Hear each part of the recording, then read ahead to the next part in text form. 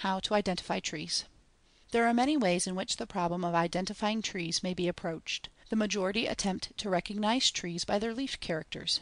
Leaf characters, however, do not differentiate trees during the other half of the year when they are bare. In this chapter the characterizations are based, as far as possible, on peculiarities that are evident all year round. In almost every tree there is some one trait that marks its individuality and separates it, at a glance, from all other trees.